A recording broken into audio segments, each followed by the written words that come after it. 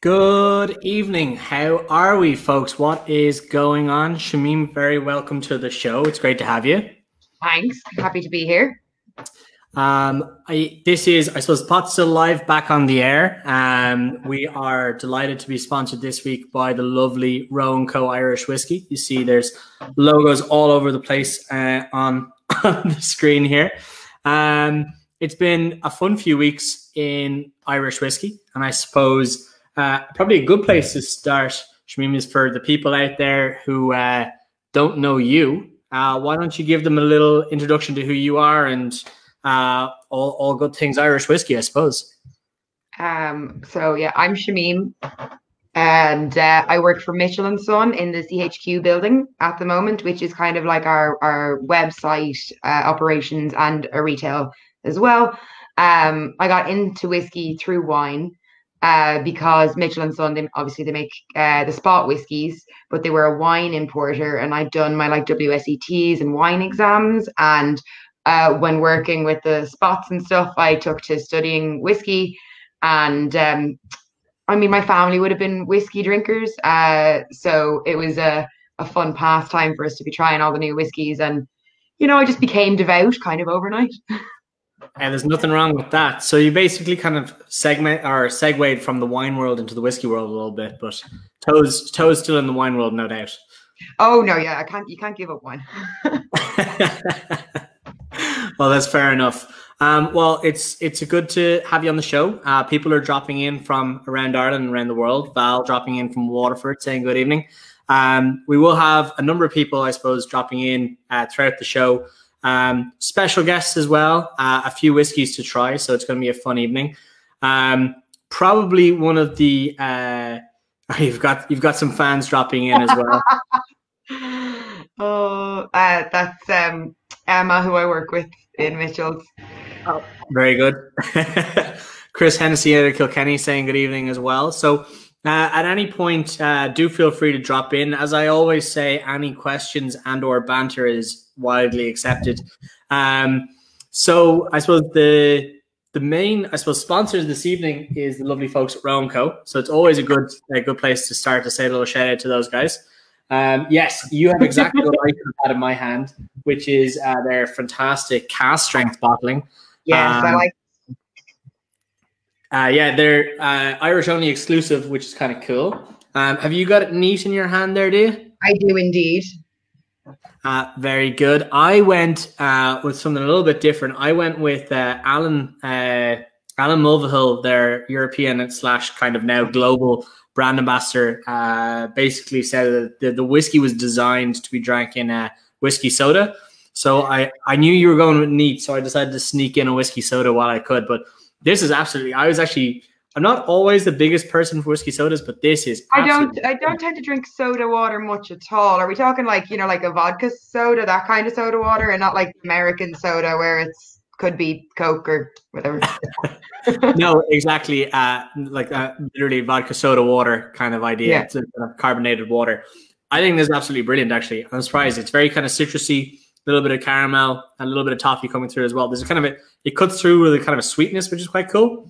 Uh, yeah, because I think there's a quite of a sweetness on the nose though as well. I think it kind of almost butterscotchy. Yeah, yeah. Uh, kind of sweetness with the with the touch of vanilla in there. So kind of kind of reminds me of like a, an ice cream sundae. yeah, I could see that. I, I tend to get a little bit of coconut from some of their uh, whiskeys, which I kind of get um, on, when this is neat. I tend to get a little bit of that as well. Uh, and as I just pulled up on the screen there, there is a bit of love uh, coming in for Mr. Mulvihill from Roe & Co.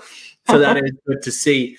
Um, yeah, the, as I said, Irish only release. Um, and it's basically their flagship expression at Cask Strength, which is quite cool. So big thanks to them for sponsoring tonight's episode.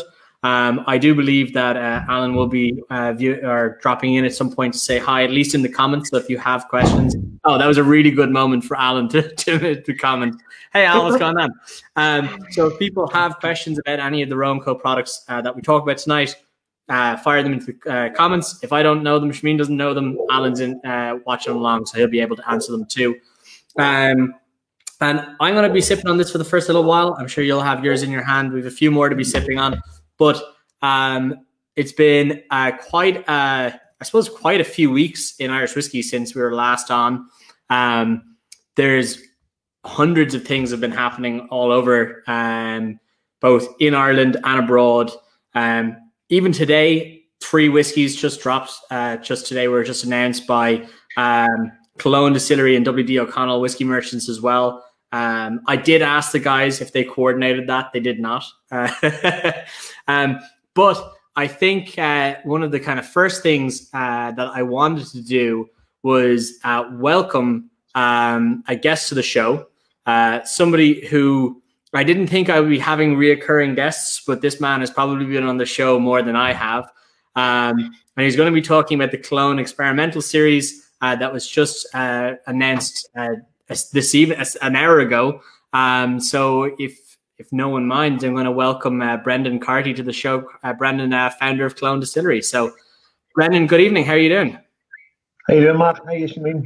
Well? Hi, how are you? Not too bad. Um, so, as I said, I didn't think I'd have. Uh, you must be basically a regular at this point.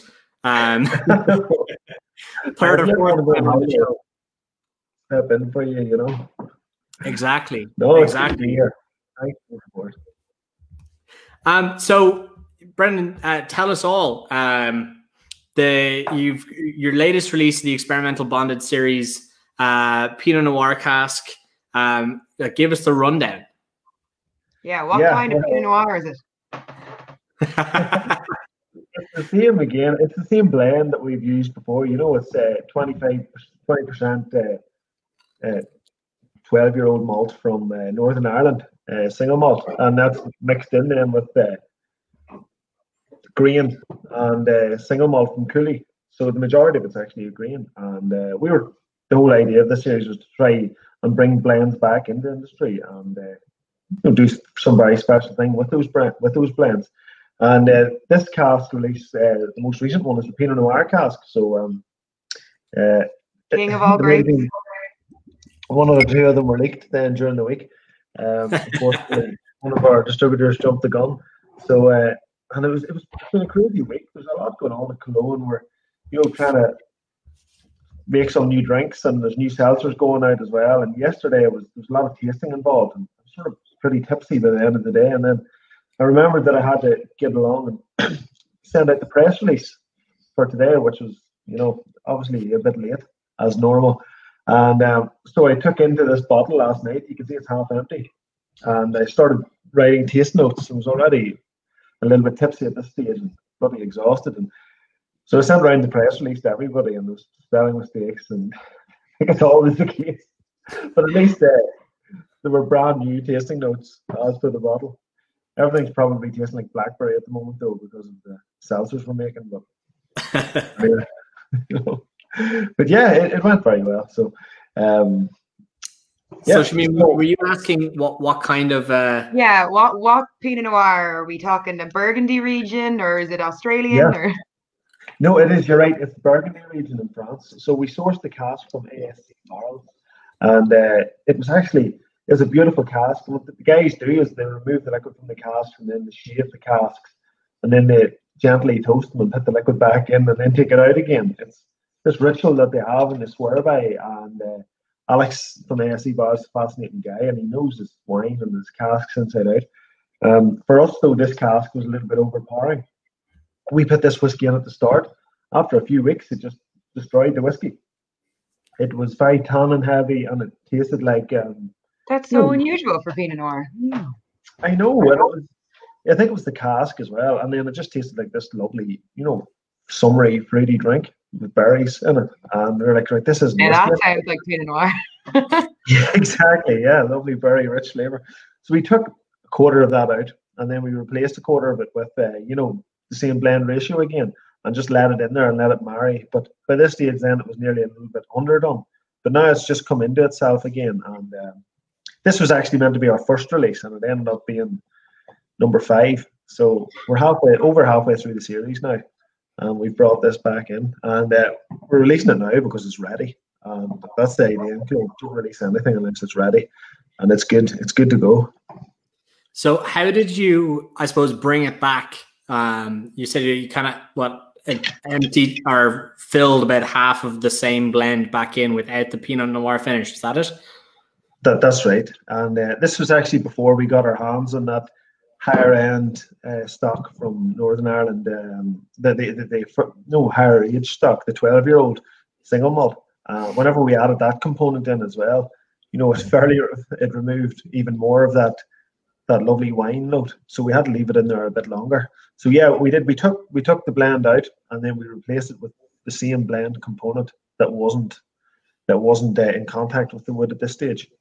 Um, so and then after a while, we took that out again and we started. We took uh, twenty percent out of every one of our casks, and we put in the the single malt. And uh, yeah, so this one was the most troublesome, I have to admit, but it turned out lovely in the end. So I had a, a I suppose, fortuitous um, delivery this evening, something I wasn't expecting. Uh, but this arrived in the door just literally just before we went on air, which was quite cool. So, uh, it's very professional looking label. Uh, looks like a long time. I mean, all of the technical information is there. Pinot Noir, and then in in a different pen and a different handwriting, Burgundy. Yeah, I knew, was coming on, so I didn't want her asking a question. um, so, as always, uh, 50 uh, cask strength, so 56% this release.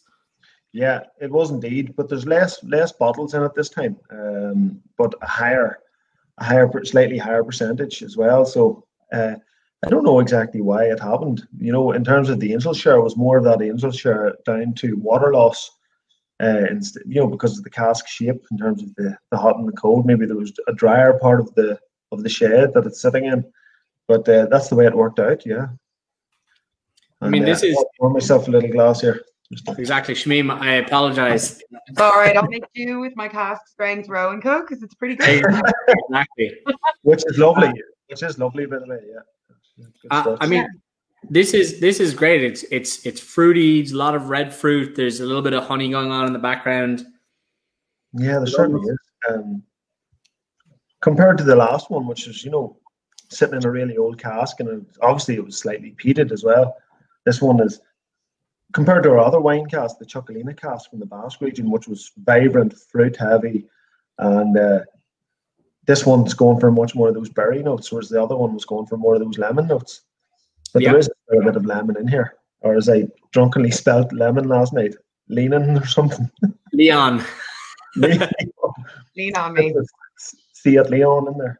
Exactly. um, so, so Chris Hennessy is in the comments uh, asking uh, whether or not you framed uh, the sharpie from the back label yet. You might need to explain that one a little bit. That's right. Um, can you see that? yeah, I'm gonna I'm gonna be polite, and we're not going to get angry or anything, and we're not going to say any. We're not going to talk about any gobshites in the industry or either enforcing the rules or whoever wrote them. Um, we're just going to explain that uh, we had to remove some of the label from the back of the bottle because we were accused of uh, misleading the consumer into thinking that this was an older whiskey, just in case you know before they get to the back label um, that might say a different number. That says 10 year old. Some good so typography there. Exactly what the tiny black small print at the back of the bottle says. It's just more information for the consumer, uh, which is important. Whiskey, so, what, what, what was that information that you had to black out? Well, we, I, I, suppose we're not allowed to say, but I know we're not allowed to say that it's 2008 um, components in there, and you're not allowed to say that. Uh, you know, there's other stuff from 2009 in there as well. In fact, this is actually an 11 year old at this stage, but whenever we didn't realize they were going to be released so sporadically at the start, so we printed all the labels out beforehand. And uh, oh, that sounds like an accountant's decision if ever I've heard one. Yeah, Liam Brogan, he's the accountant, and uh, if ever one pound is missing or a euro is missing, he just gets a big stick out and hits me over the head with it, you know. He's a wild man. Does it take you back to your school days? He's a wild man for the pound. he's gonna be he's gonna be the man with no bad debts though. There'll be nobody short knee lads. I wish that was the case. Yeah. No, you're so, so, you're halfway through the series. Um, the I suppose the Pinot Noir is is obviously the, the latest that has come out. Remind us what have been the previous forecasts that you've released, and all again all of the same blend. Uh, yeah, the first one was a Jamaican dark rum, followed by the Basque tequila, and then there was the um, Mexican, sorry, the Basque Txakolina cask. Then there was the Mexican tequila cask, and then there was the peated Islay cask, which we actually got in a little bit of bother for as well, unfortunately. Um, yeah. We were claiming the Scottish Whisky Association felt that we were trying to be Scotch whisky, but at least they, they were very plausible. They're very nice about it. Um, we said we wouldn't do it again, and that was okay. Um, yeah, and then now we are. So we've got two more left after this, and we'll probably release one, you know, in about six weeks' time again. Uh, yeah. So, so do you think where... you write your press release in advance this time, or? Probably be twelve year old by that stage. Don't be misleading the consumer now. I know you're right. You're There's a see it on in every in every bottle.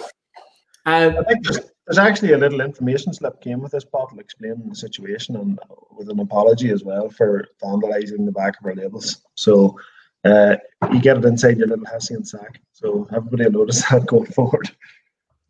I think it's weird that you're not allowed to, if you're not allowed to say it, because when we were at the launch for um, Midleton Very Rare 19, they told us like some whiskey from this year, some it's 19 years old, some whiskey from that year that's 22 years old. Like we got the uh, blend components all printed down and given to us. So. Are you trying to tell me, Shamim, that there's some rules for bigger players in the industry than there is for smaller players? Oh, am I showing my naivety? Sort of monopolization, like, bright-eyed and thinking everything is great. just just no, play, on, play on the side of devil's advocate and not to get us shut down. Uh, I think I think the distinction there is one is printed on the label, one was not printed on the label. Oh is, yeah, it wasn't on the label, but I when I'm talking to customers about things like they like to know about blend components, and oftentimes yeah. customers just want something that they can flex in front of their friends with, and that's what they buy. You know? Yeah, they do. Mm. Uh, so, Brendan, while you're here, not necessarily Irish whiskey, but uh, you have jumped into the world of uh, gin seltzers. Uh, give us a, a quick uh, a quick rundown on that before uh, before we part ways. Gin seltzers, it's, it's the sort of thing that gets you out of bed in the morning. Um, no, they're lovely. it's we like a challenge, and uh, we also like to keep the doors open. And uh, so, generating revenue and taking on a challenge is really important. Uh, but the seltzers are good fun. You know, they taste nice, and we wanted to take a the approach of everything being natural uh, and low calorie and healthy. So there's no added, no artificial colors, and there's no artificial flavorings. Everything's natural and put into them, and it takes an awful lot of uh, trial and error so we've only got ourselves up there, and we're mm. trialing our new one that's going to be released next week. Yesterday, and we were mixing all of the different components together, and we ended up with the first one. We must have gone through about twenty different flavors. The first one was like mouthwash, and uh, I don't know what the last one tastes like yet because my palate was just shot by the end of the day. so, uh, I think I've had a few seltzers myself, and I often think of them as like um, light, easy to drink, and then it's like somebody shouting the flavor of a fruit at me from across the room. Lime. Yeah, well put, well put. But they are good fun, and like it's a good way to get um, tipsy without. Uh, I think it's alcohol. perfect canal can. I have to say. Yeah. yeah. for an El Canal can. Yeah, I mean, if, if you're not inclined for cans, this is this is very similar to a seltzer and more environmentally sustainable. well, I don't know. I mean, uh, aluminium. What seventy nine percent of the aluminium ever produced in the world is still in circulation. Like cans are infinitely recyclable. So I mean, that's, that's pretty. Well, will you recycle it if you're on the canal? I, I, I'm not condoning nor promoting canal cans, uh, no matter how fun oh, they am. are. I'm promoting and condoning canal cans. Plastic um, last time. Exactly. Uh, Brendan, uh, Dave Cummins wants to know what is your favorite wine cask to work with so far? The wine cask, uh, in terms of wine itself, it would be the Basque Txakolina cask, uh, purely because, you know, uh, it's, it's like a upon wine and uh, it actually is quite aggressive. It's completely different from all the other wines. And it's got, I think it's got the most um, regionalism compared to any other wine. It's just the fact that it's got its own grape that's indigenous to that part of, of the world, to the Basque country, and it's been there for you know hundreds and hundreds of years, and it's it's quite xerophytic as well. So it's it's resistant against those Atlantic salt waters, and it's got a thicker skin as a result, and a, and a bigger seed. So it's quite tannic, and those flavors work the way over it, and it, it's quite a refreshing drink then.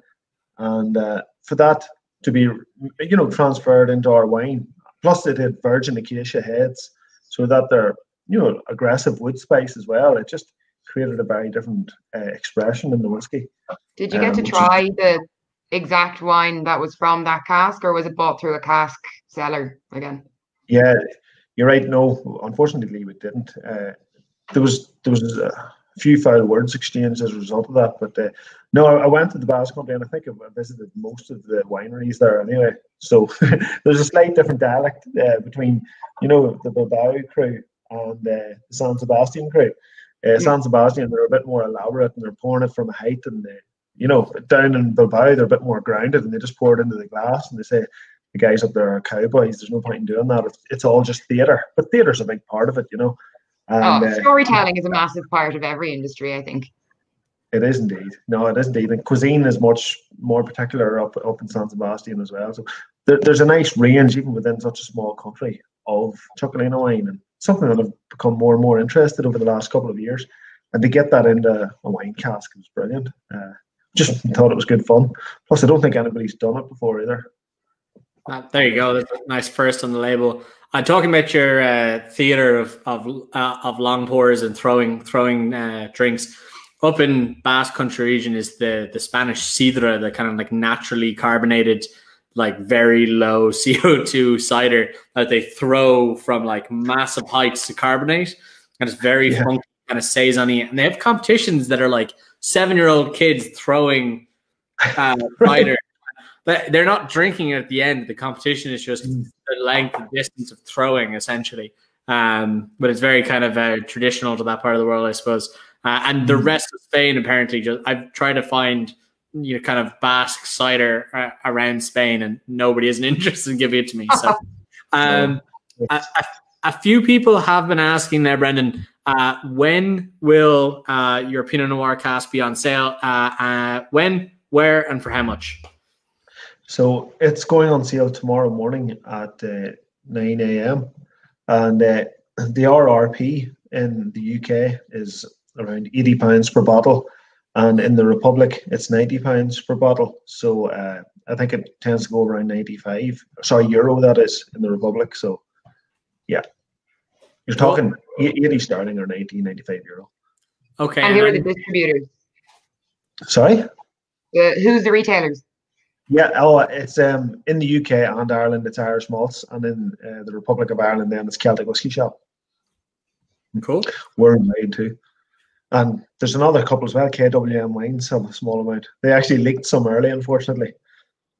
Uh, so there was a guy down in County Meath, of all places, with a bottle a couple of days ago who was most obliging when we asked him to remove it from social media. Well, at least, at least he was he was nice about taking it down, I suppose. Indeed, gentlemen. Call gentlemen. um, I, I, I, an interesting question here from Richie Phelan: whether or not I'll be able to get it in Sweden at any stage. I presume both Celtic whiskey and Irish malt would be obliging to ship to uh, to the Nordic region.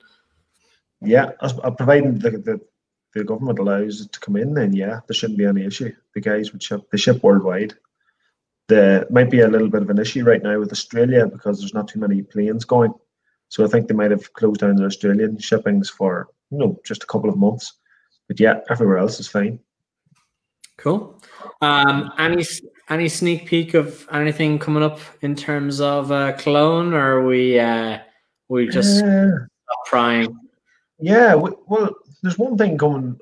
There's a few things that we don't want to talk about, but I suppose there's one thing that's very exclusive. That you know, Poitín's got a bad history, and for us, we're always trying to premiumize Poitín, and you know, that's a it's a it's a tough move to make, and you know, it's a thankless task, and it's there's no profit in it, but it's it's certainly we think Poitín can have integrity, and uh, we're actually going to release a batch of Poitíns uh, very very close in the future uh, there's only going to be 200 of them, and they're going to be a set of five small bottles. And Uh, they're going to be, you know, they're going to represent different parts of the country. Uh, very tastefully done. Um, and they're going to be delicious as well.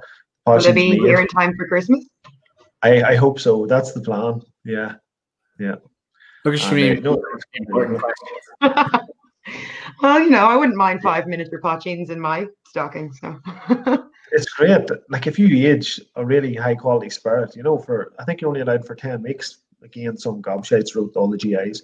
So if you you're you're allowed to age it for ten weeks in a cask, and then take it out, and it's it's crazy what can happen in a small firkin in ten weeks if you've got a good quality spirit. My granddad used to make poitín on the last free plot of land just off Sheriff Street, and right. like nobody owned it. And mm. so they'd leave it there just in case the guards came so that, you know, you couldn't blame anyone or claim it. And sure, he was buried with a bit of it. Oh. Very good. Yeah. yeah. Because you had to make it in commonage, didn't you? So that you, exactly. You don't possession of still. And he used to great. go and drive around on the horse and buggy and give people um their coal and their poitín. good on him. Probably yeah. saved many lives. Ah, he was a mad bastard.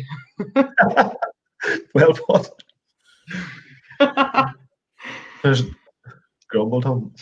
That's my That's friend. One of your, one of your crew, yeah. Yeah.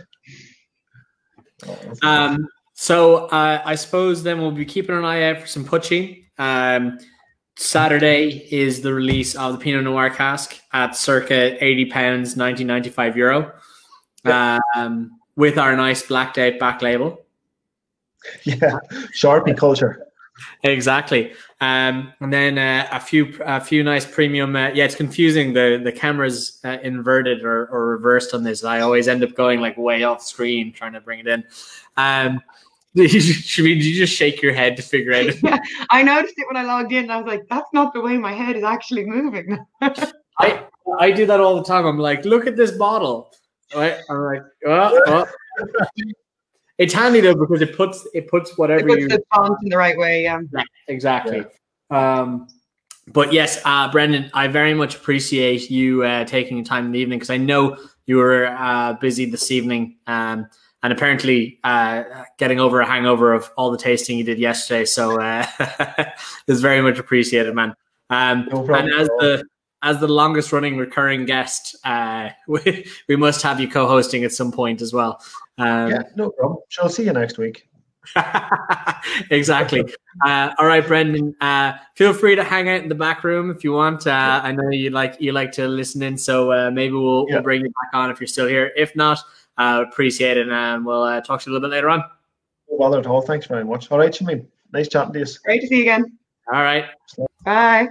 Oh, I cut him off in the middle of Sloan, but um, that oh, was great. Yeah, exactly. Um, so, Shamim, I suppose um, we've that's kind of the first first thing we want to talk about this evening. Um, but we have a lot to get through. Uh, lots have happened uh, in the last couple of weeks in Irish whiskey.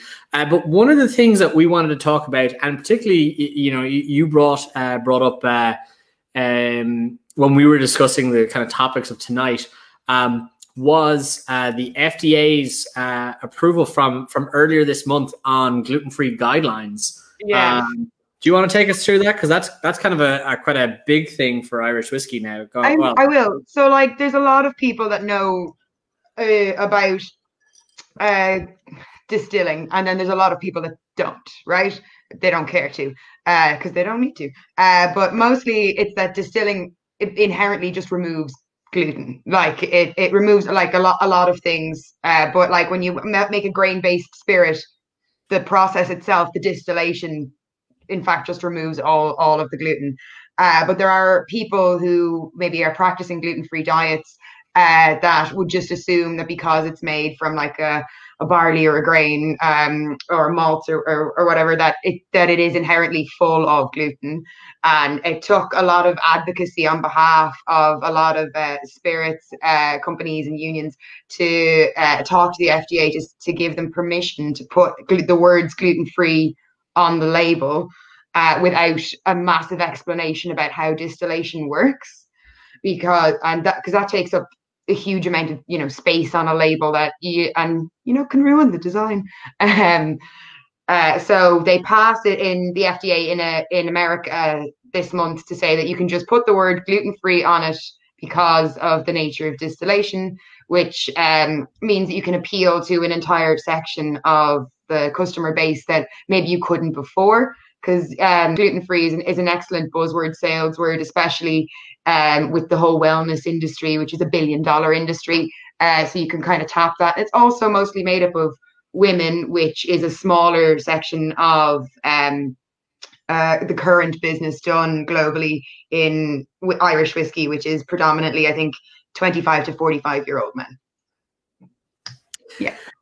Uh, yeah, having having spent a couple of years in the states, uh, the absolute sheer Goliath that is Tito's vodka um, the amount of people that used to I see in bars would order Tito's and whatever, and then mm. demand to be shown that it was Tito's going into the glass because they were uh, like somewhat somehow gluten intolerant or intolerant, yeah, yeah. Um, and and no matter how much explanation um, went into it, didn't matter. It was Tito's because Tito's is the only one that said gluten free. Um, and then I remember Stoli. Uh, came out with a gluten free version of their vodka, which I thought was fantastic.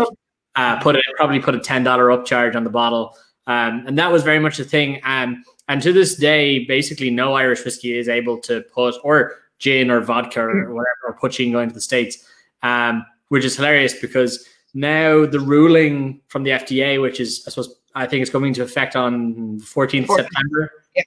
Um, will allow uh, Brendan dropping back in gluten free genius. Um, but uh, that'll allow any distilled spirit to use um, the I suppose the branding of gluten free on the products, um, which in fairness will uh, have quite a large I suppose consumer education to a degree. Uh, but what I find funny is that it's the complete opposite in Europe um, because because it's by by definition gluten free. You can't put gluten free on a label where the cat like the category is by definition gluten free because it implies inferiority of other products. So cider you can't do it. Um, cream liqueurs you can't do it. Whiskey you can't do it. Vodka like any distilled spirits, but also cider I think was one that always even putting naturally gluten free is is not allowed. It's not allowed. Yeah. Yeah. Um, I mean, I think after the FDA move, it could, you know, people would maybe have legs or precedent to sort of appeal um, that sort of restriction. But it's also not as big of a of a buzzword with uh, European consumers. I think in the in the way it is with maybe more internationally and American ones, uh, because of the way we market things, isn't it doesn't always line up with um, the way it's done in, in different countries, which is, you know, evidenced by lots of other things. They always have like an ad for Europe and an ad for America. Yeah. Because sales tactics actually do vary culturally. They do. And also I, I only found this out recently and I was I was mind blown by it. Um the innocent till proven guilty uh I suppose motto applies in um food labeling as well that uh, you have to prove that something isn't what it says it is for it mm. to not be allowed on the label. So if you make a, I don't know, you can't make a medical claim, but you could say, say gluten free, and then someone has to literally disprove you. Whereas in Europe, that there is gluten in it.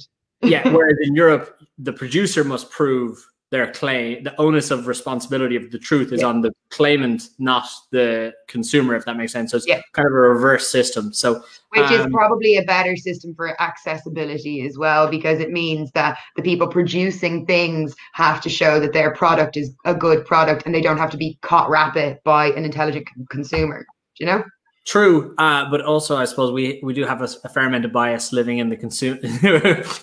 it's always it's always easy to say that we don't check our bias, but like yeah. you know, acknowledging our bias is the first step towards removing it. I do agree with you though. Uh, yeah. that I think it's a better system, but I do acknowledge that growing up in the system where that exists is is is in some way. Yeah. I'm sure I think the other way is great if if I grew up in the other system. Well, I think, uh, but I also think if I was a business owner, I would prefer the other system. But as a generally just con, you know a little working class consumer, I rather be stuck up for by the courts. You know. Exactly. Um, probably a good moment. Um, we're about halfway through the show. Mm-hmm. Um, probably a good moment to uh, check in on uh, our our second drop of the evening. Um, so this is the Roe & Co Curator Series uh, 0.1. There we go. So it's handy to have the the labeling facing front there. Um, you still on the cask strength? no, this is the cask strength. I picked up the wrong bottle. I've clearly drank too much cask. Exactly. I was say you did exactly what I did at the beginning. This is uh, I, by far my favorite uh, Roe & Co. Um, not to be biased against the other uh, Roe & Co's, but this I think is absolutely fantastic. Uh, really, really high uh, percentage of malt in this. Uh, I was talking to Alan earlier. It's it's just shy, I think, forty eight percent eleven year old malt and port. Um, 48% uh, non-age statement malt in bourbon and then like 4% grain blended together. Um, this is just for me. This is absolutely stunning whiskey. They released it when they opened the the distillery. Um, full of flavor, lots dried fruits. Um, they mentioned actually on the label. This is one of my favorite things. When I first saw this kind of coming out, um, their tasting notes are of Irish hedgerow, gorse flower, and honeyed cream. Um, so I, I, like to be honest. When I saw this coming out first, I was like, "Oh, Roe & Co coming out with the gin." Um, until I was informed otherwise. Um, the very interesting tasting notes. Um, well, like it, I, I like the tasting notes because what I thought when I tasted it was that it was quite autumnal. Like the, it re- reminded me of like Halloween, which would make like a lot of sense because it's like that sort of like gorse and blackberries, and that's kind of when they're all ripe and stuff. So like, you know. Yeah, and and I, I was also saying like the kind of uh, I, I did a, a, nice lovely photo shoot of, of one of the that, of that Roe & Co bottle uh, in a load of gorse flowers outside my apartment uh, when gorse was well at least uh, summer gorse was blooming um, and it's kind of a compound flavor because gorse flower mm. is essentially vanilla and coconut um, kind of mixed together so you get a lot of that in in the glass um, and I think it is one of those things that it kind of uh, has kind of a honey flavor to it. It's got a, a viscous mouthfeel. Yeah. Um, a little bit of uh, citrus going in the background as well. But yeah, this this this for me is is absolutely dynamite. I'm I'm a big fan of this. Um, so I suppose Sláinte at this point, uh, and Alan, oh, uh, who who is commenting still. Uh, if you've any uh, points to add about this, uh, do feel free in the comments. Uh, but apart from that, I'm going to enjoy this sip. Mm-hmm it's very different to the cask strength. So the sort of lighter, sweeter sort of um, flavors from the uh, cask strength are quite complemented even with the afterwards because the richness of the port I think really comes through. Yeah. Um, in it, and there's just like the citrusy sort of berries is is is really nice. I agree. Dave. It is 46. Um, but now this is actually um, this is one I had a bottle. My, I got a bottle a while ago, and there's there's that much left in it. Um, so I have I have enjoyed this quite a lot. Um, and now I have a second open bottle, which I'm, I'm very pleased about. But this no, this is a this is an absolute one I keep on the shelf. It is absolutely delicious. A lot of flavor, a lot of like. this is almost actually in the kind of compass box region where they made a a blended whiskey with like one percent grain, just to make the point of uh, that blended whiskeys can be uh, anything with with mixes, four percent grain, um, and almost fifty percent eleven year old malt. So now this is this is stellar whiskey for me. And. Alan, I mean, confirming that it is forty six percent. So we we weren't far. Well, we were right, but we weren't far away. oh, on the money. Exactly on the money indeed. So I suppose we'll, we'll keep ourselves going. Um, we have our Roe & Co's. I still have my highball. You still have your two neats. Um, I suppose the next thing I wanted to talk about, there's a few people still messaging in. So if you do have any questions at any point, do shoot them our way. Um, the next thing I want to talk about was uh, the Teeling 37 year old. Uh, yes. That, that, was announced a few weeks ago. Um, super, I suppose, super premium, uh, but a kind of a very interesting whiskey coming out, having seen the likes of um, JJ Corry's The Chosen and the likes of Midleton's uh, Silent Distillery. Um, 37, excuse me, 37 year old single malt, all ex bourbon matured. Um, one of the eldest Irish whiskies. I think it'll probably be seventh or eighth at this point mm-hmm. uh, released. Um, and there's only 175 bottles. Yeah. at, at seven grand a bottle. So I'm gonna I'm gonna make a wild uh, I'm gonna make a wild uh, proclamation that probably nobody watching this is going to have a bottle sitting at home cracked open, but you never know. Maybe we have some very rich friends and and, uh, and viewers. Um, if, if, they are there, I will I will happily consult with you and. if you guys have some in stock, make sure to plug it because uh, I'm sure you can sell it. Yeah. yeah, distilled in uh, in '83, um, so a full ten years before I was born. So that was fun. Uh, it was sitting in a warehouse already old enough to uh, be released as a, a nice ten year old whiskey at the point. Um, but I thought it was really cool. Forty-one point three percent ABV cask uh, strength. cask strength, exactly. Like that, they needed to release this soon because yeah. that was that was about to. The drop. angels were getting drunk. exactly. Like had that dropped below the forty percent threshold, that was no longer whiskey. Like that. Yeah. That was they were they were pushing that close to the the wire on that one. Um, kind of I cool. thought I read somewhere that 37 was like an important number to them as well, and that was like their ideal year to release it. Um, I mean, yeah, I yeah. think it's their, I think it's their address in Dublin Eight. I feel like 37 is is there. I'll, I'll take it. I'll take it. I mean, if I had a 37 year old whiskey sitting in the warehouse, it would be a very important number to me, also. Uh, um, but yes, I, I, you're looking at a what a, a grand per hundred mil, so it's going to be a, a, very, I suppose, elusive Irish whiskey. I remember uh, reading the press release, and they said that it, it's it's for the Irish market with a select couple of international markets uh, where it'll also be retailing. So they obviously have some. Uh, Asia. yeah, exactly. Some Hong Kongers uh, looking for some nice premium mm. Irish whiskies. Uh, they've got them covered. Um, sad to say, we don't have a sample of it sitting here, which. Uh, but we would be open to it. exactly, exactly. Um, Alan Mulvihill dropping in again from Roe & Co saying, thanks for the kind words. Means a lot to see when people are enjoying the booze. Absolutely. Um, so far, um, I think I'm definitely enjoying all the booze um, that you guys are making. Um, then, uh, as I as I just said, important customers. Uh, Jamie Cotter dropped in say important financially. Yes. Um, any customers that are buying and selling seven grand bottles of Irish whiskey, I think, are very important uh, financial customers to any Irish whiskey company, and I think anybody would be delighted to have those customers. So, uh, more power to them, I suppose, at that point. Um, definitely the oldest uh, single malt released by um, Teeling. Trying to think any older Irish whiskey single malts. I know there's older pot stills. Um, yeah, off the top of my head, I can't think of any no, older. If if anyone, oh well, actually, the sorry, the the Midleton uh, Lost Distiller or Silent Distillery uh, release, their 47 year old was a peated single malt, uh, which which always uh, skips my mind, being the famous pot still distillery. Um, but yeah, so uh, apart from that, maybe second eldest, if anyone wants to correct me on that, because I know there's Cadenhead's bottlings of um, of Irish whiskey, which I think is hilarious. A lot of the Cadenhead ones are 44 and 42 years old uh, with like 70% alcohol uh, in the bottle, which is just absolutely wild. Um, but yeah, I suppose moving on a little bit, um, just because I'm keeping an eye on the time. Um, Whiskey Live uh, Dublin no.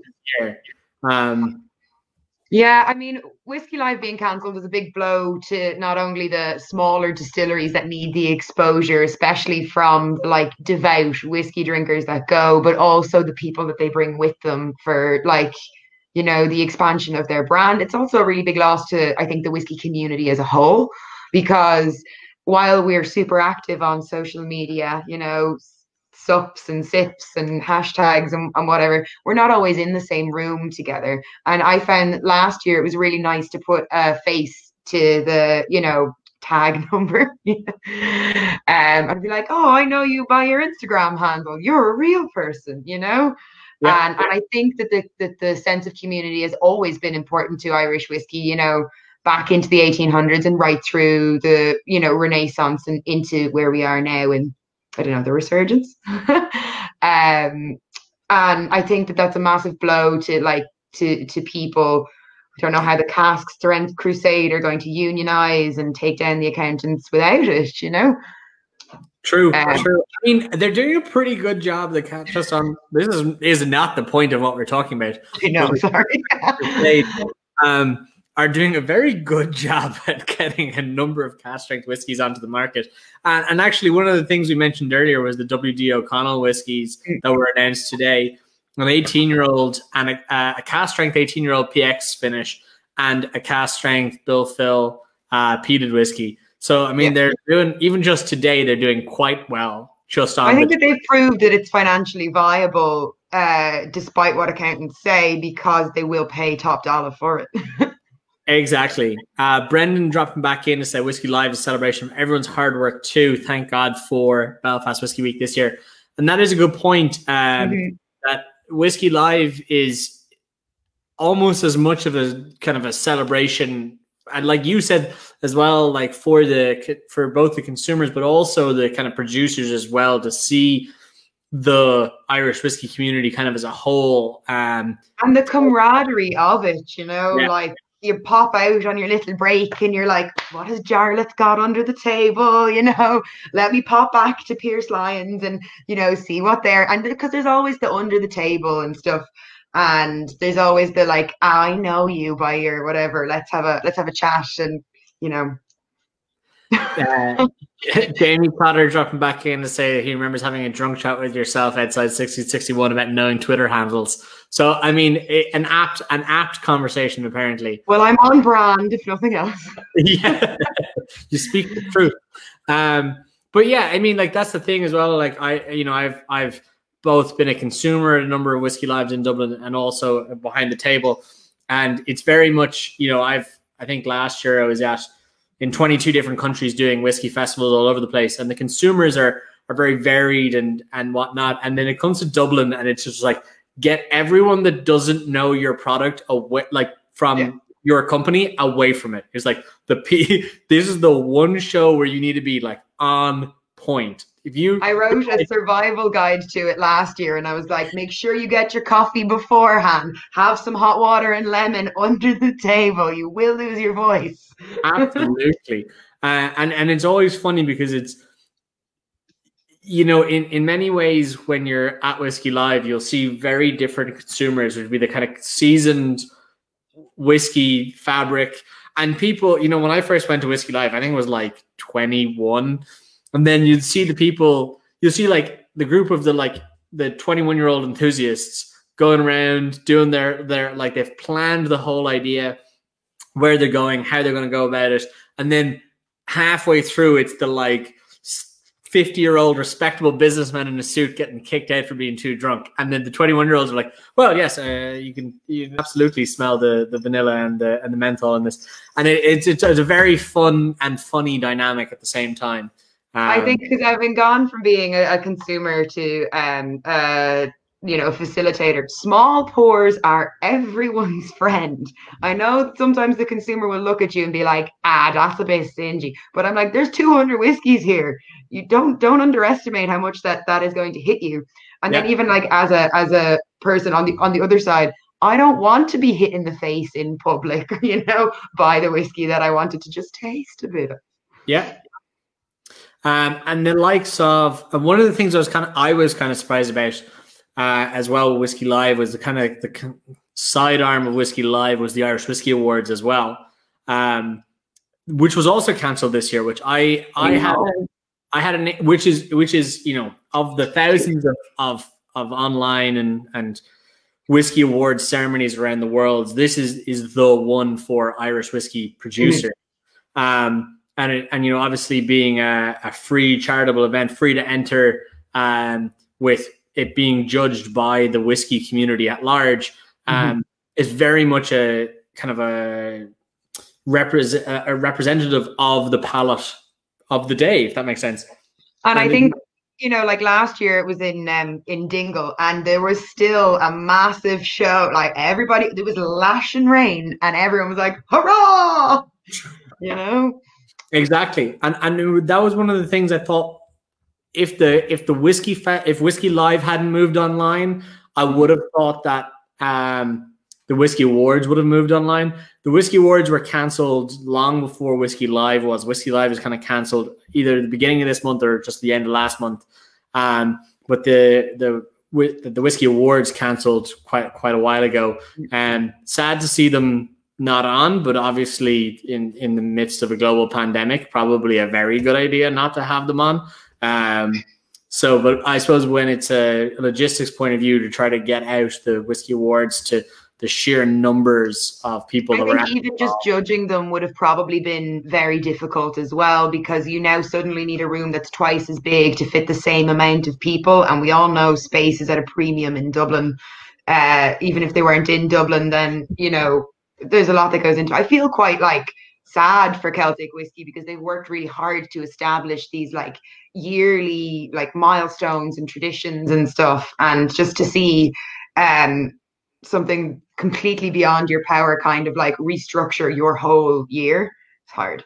Absolutely. Um jamie cotter dropping back in says gutted to and won't get to watch people not be in a panic while the fire alarm goes off. Anyone who wasn't at whiskey live dublin last year the fire alarm went off for quite a while and also it went into kind of a silent mode kind of repetitively so it would alarm for like two or three minutes where everyone would start leaving and it would go into a silent mode I presume to allow people to leave, but then because it was it was still alarming, the lights were still going on and off, but the sound wasn't. Everyone just kind of came back, and it would go off again, and then they'd come back, and then it would go, and it was a very strange, funny, repetitive thing going on, and it was. Uh, it was unfortunate to kind of disrupt the night, but it was, as Jamie said, quite funny to. to it watch. was the drunkest session as well, like the the Saturday afternoon one. That was the one where everyone was a bit more gung ho about it. exactly, exactly. Um, but as as a few people have said, uh, thank God for uh, Dave Cummins saying it was absolutely hilarious. Mass confusion. I, mass confusion indeed. I also saw a few people um, who at least claimed to be fire wardens in their own businesses who were consumers and not in the right mindset to be trying to help helping, which was just which and also the, the actual fire wardens from the event were like, no, you need to leave. And they're like, we'll help. We're like, no. just I mean, going. I did that classic Irish thing where I was like, oh, I'll just wait and see what everyone else is getting up to. You know, yeah, I, I mean, we're, we're, we're pretty bad for that, all right. Um, but yeah, I suppose just keeping an eye on the time. I do mm. want to catch up on one or two more things. Um, this one, though, uh, I was I was pretty excited to talk about. Uh, Sliabh League's first uh, Irish whiskey uh, spirit distillation in Donegal in 180 years, um, which is pretty cool. Like on all counts, Sliabh League known for their An seaweed gin and uh, their Silkie, uh, the legendary Silkie Irish mm. whiskey, um, which I just had as my uh, whiskey of the month for July. That well, they're they're kind of peated uh, or lightly peated version. Um, so to have their first distillation um, and a double distilled peated single malt. Uh, which it's is quite like, cool. Yeah, it's, it's it's very unusual, and it's also I would say very in character for people in Donegal to be like, this is what I'm gonna do. You know, I'm gonna go for it gung ho. They've also launched their or, or relaunched their um, crowdfunding as well, just so that they can kind of get things built to um, a certain point that they want. But I was looking them up the other day. Did you see the idiotic um, TripAdvisor review that comes up the first thing when you Google them?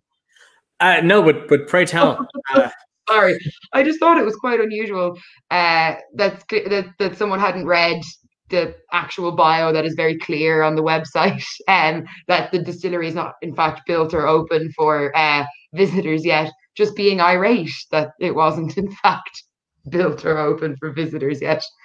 Yeah I, I think one of the things that in the last number of years has kind of gone under the radar in slight you know like distilleries are food processing manufacturing sites they're mm-hmm. not inherently tourist centers. And whiskey tourism really has only kind of taken off in the last 20 years, maybe even even pushing kind of 10 years, maybe. And I think a lot of people forget that every distillery or every brewery is they're built for production purposes. They're not Yes. built for tour purposes, and not everyone is is situated for that. Um, and I think Not they're gonna- everyone can be either. It can't be everyone's priority. Yeah, absolutely. Uh, and some are perfectly situated for that. Uh, the Shed are just opening their three million euro Um, uh, visitor center, and other places like Cooley Distillery don't let you look through the gates, uh, and and that's perfectly fine. It's a, it's literally a production facility, and in a lot in some cases, it's very much not safe to bring in the general public. Absolutely. People forget that things are warm and uh, cold and delicate, and you know, there's actual chemistry and science, you know, happening here. Exactly, and and actually, one of the things uh, this is not related to Sliabh League, and I do want to get back to that. Um, but the no, it's fine. I, I rabbit hold with you. Um, I digress. one of the my first time going to Echlinville Distillery very soon after they first opened. Um, Serghios from uh, Irish Whiskey Magazine, long before the Irish Whiskey Magazine was a thing, the two of us drove up to uh, for the day, went on a tour, and I remember as you're leaving the kind of like main area where their column still is, and the kind of kind of reception area, going into the first kind of fermentation area, it's uh, the walkways are are are uh, grated to allow CO two to fall. And I remember, I remember the distiller Graham looking at a woman who was in like six inch stiletto high heels, and he was like, "I, I don't really know to tell you. Like this isn't appropriate footwear for a distillery." like, yes, like I like, and I remember looking at her and her looking at the grates, being like, "Yeah, this seems like a like this isn't going to work." And he was just kind of like, "This is." This is Sorry. distillery. like it's it's built for working. So, uh, but yeah, um, it was uh, it was interesting to see that, and people forget that they are production sites and and agri businesses as well. Mhm. Certainly agri businesses, but agri business nonetheless. But back to Sliabh League. Um, uh, first legal whiskey spirit produced in in Donegal in 180 years. I'm going to put an asterisk on that according to the guys in Sliabh League because I haven't looked into uh, how how recent the the spirits were produced up there legally. Uh, double distilled peated malt, and their claim in their press releases was that they want to become the Islay of Ireland, which obviously very cool coming from uh, a historic Inishowen kind of peated poitín years would be a very cool kind of return to the past, I think. And the peat was taken from essentially adjacent to their new distillery, which I thought was quite cool. But I also think it's quite the um, uh, goal. You know, it's a it's it's a high goal. It's a high bar. Um, Yeah, yeah. and you know, go higher, go home. I suppose. Um, and I, I don't know. I think if you're striving towards something that is it's almost you know unattainable to, to to some degree, you will do really well because you're you're you're pushing yourselves further, and they also seem to know themselves really well. So it's not all going to be like oh, we'll give it a go here, we'll give it a go there, and we'll see how we land. It's like, oh no, I know the style of whiskey that I'm trying to produce, and I will keep like uh, trying the maybe the minute differences till I till I get to the place that I want to be, which I think is quite admirable um, and and quite um, I think also really interesting as well to be like particular about what you want to do. Yeah, exactly. And, and and reading, excuse me, reading some of their brand stories. Um, excuse me. I know there's a familial connection that one of the founders, his his grandfather used to produce uh, peated poitín in the area, kind of a double distilled uh, on the Schley poitín. Um, so it's very much kind of the legal um, reincarnation of that, which is which is quite cool. And I think it'll it'll resonate as well with with international peated single malt is obviously a, a, a well understood category around the Mhm. world, possibly I- much more so than single pot still as well. I think this the uh, the Silkie thing is is quite interesting as well because like the the legends and the stories of these like seal people um it makes for for a really fascinating read and they seem to really understand the legend and it's well vocalized like on the back of their labels and stuff as well which I think is quite a is quite a nice draw um for maybe a different a different style of consumer who is uh, interested in the Irish lore, folklore, heritage, and stuff, as well as the whiskey. So you've got like the familial connection, the ancient connection, and the like aspirations for future. And I think like as a whole product and, and a whole brand going forward, it's it's very well done. Yeah, I agree. And I, I think one of the things that having worked in a number of the different booze categories in, in Ireland for the last couple of years, the one thing I always find is that mythology doesn't sell booze is very much a, a, a, rule I have learned. Whereas the Silkie seems to, and like with Silkie, and then even not quite to the same mythology, but like An Dúlamán and the, you know, you're getting into more more localized history as well in, in different parts of their branding. It is working for them, which kind of breaks my. There's always exceptions to the rule, um, uh, and I think they're they're doing quite well uh, up. I, I also think that because silkies are like mermaid-like creatures, right? That but they are specific to the Irish sort sort of lore. Now, mermaid is an aesthetic. You know, like you can look through Instagram and stuff like it. There's there's an entire aesthetic there that that people like cultivate their identity around, and uh, like people have mermaid brushes and remember this and remember that, and like you could like maybe potentially reach that customer who might not have thought of Irish whiskey as, as an option based on their interest in something else. True, true. I, I feel like that'll be a harder sell for Clonakilty on the whale. Um, I the giant whale tail outside the distillery. I mean, uh, maybe maybe boy racers with whale tail spoilers. Um, we'll, we'll see. we'll or you could just make loads of whale puns. That could work. You know, are you maybe. whale because you're looking whale? I'm gonna I'm gonna take you. I'm gonna remove you from this live stream. No, uh, Jamie uh, dropped in saying he better rethink his Ballynahinch Banshee whiskey. Banshees, on just on a side note, are one of my favorite my favorite parts of uh, Irish uh, Irish mythology, and that no one ever gives us credit for. Um, I, I think uh, banshees are banshees, banshees, fairies, and leprechauns are all pricks. Uh, heard it here first. Uh, well, I'll take that to the bank. Exactly, exactly. Um, so I think we're kind of coming to an end. We've we've definitely hit our time. Uh, a lot of people still still with us. Um, one of the things I do want to say is a very big thank you to our sponsors for for this evening. Uh, Roe & Co. Irish Whiskey and Alan, uh, thank you very much for following along. Brendan from Clone Whiskey, um, thank you for joining us, especially with the launch of your uh, Pinot Noir cask Saturday, Irish malts uh, Celtic Whiskey Shop. Um, and Shamim, you're an absolute pleasure to have on the show. Uh, thank you for bringing uh, your insight into both international whiskey news and into wine. Um, and to everyone who has been watching, uh, very large thank you. Um, and I've I've very much enjoyed tonight. I hope you have too.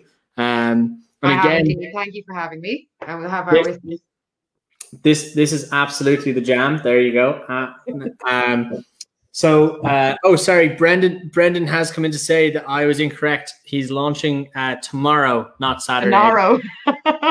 tomorrow. He's not one for spelling. Look, we had on brand. Very on brand. It gets it gets worse.